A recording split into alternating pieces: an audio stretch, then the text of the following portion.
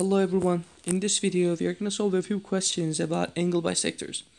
Uh, they are going to be pretty simple uh, because usually they're just going to be either divide by 2 or multiply by 2 because that's what angle bisectors does.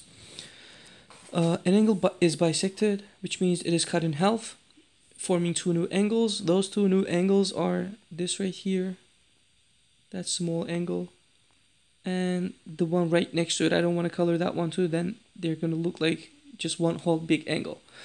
If the original angle had a measure of 12 degrees and remember it is cut by two equal pieces uh, what is the measure of each new angle? This one would be 6 degrees that one would be 6 degrees so each angle would be 6 degrees. Uh, let's see what the next level look like I will pause the video right here. Okay, uh, here is the next level. Once you hit kind of 28, 30 points, you're going to see a similar question like this. Uh, an angle is bisected forming two new angles. Those two new angles are 96, 98.6 and 98.6. What was the measure of the original angle? Basically, it tells you to add these together or just multiply one of them by 2. 98.6, 98.6, when you add these together you get 197.2 if I didn't do it wrong. Uh, so let, let's pause the video and then see the next level. Okay here is what happens when you hit kind of 40 45 uh, on C5 what is the length of BE BE is right here a wild guess would be it would be equal to 73 but let's see what the question is about. Uh, it is about an angle bisector right here 38 degrees and 38 degrees. They go on forever to this way and that way. And we have perpendicular sides coming towards these two like BE and BC when you have angle bisectors the length of these two uh, perpendicular sides are going to be the same. That's why BE is going to be 73.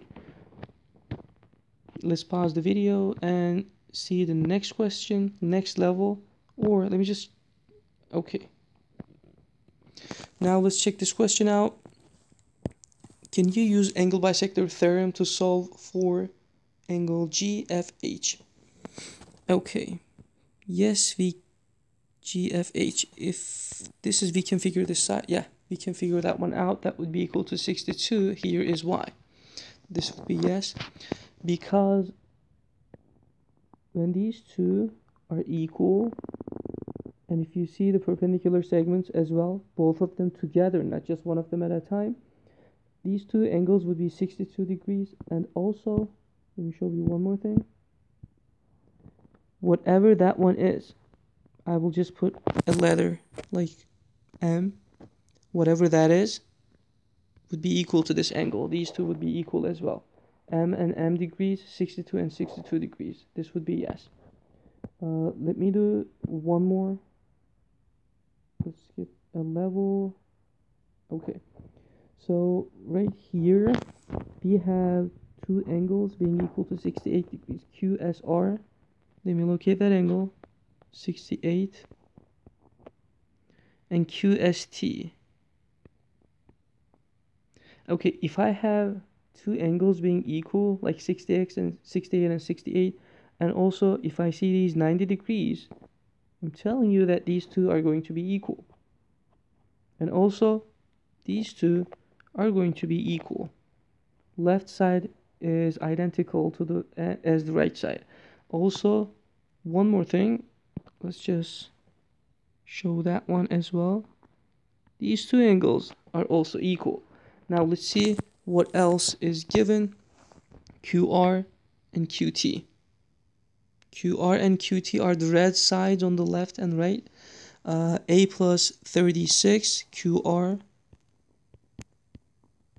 and then QT is 4A and these two should be equal let's set them up equal to each other. A is going to be 12 I think. Uh, 3a equals to 36 divided by 3 a equals to 12 which was our question. Uh, let's see when the next level start. If I can exit this out. Okay this is the final question. Uh, probably you're not gonna need many of you will not need this. Sorry about that. Uh, let's get to the question. If your goal is 70 you don't need to watch the rest of this.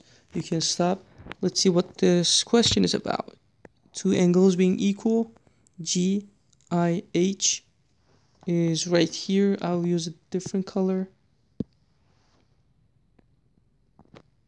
And G I J these two angles are equal. Uh, two sides GH and GJ are given.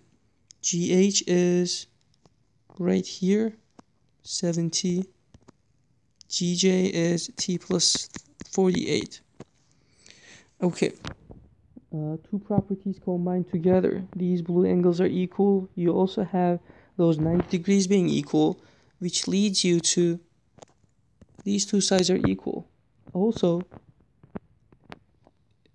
they're not part of our question but if they were we would also know that JI and IH, IH are equal as well. Uh, these two angles would be equal to, just in case, right here, that one, and this one right here. Just for the reference, probably you're to have questions regarding those ones. Uh, but for our question, we said 70 and t plus 48 equals to each other subtract 1t from both sides. So 60 equals 48 divide each side by 6 and then you will get t equals 12 i think that's all guys.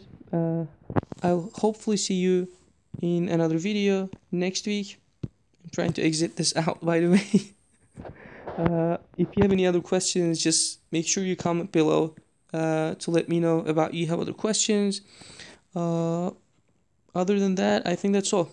Uh, see you next week, guys.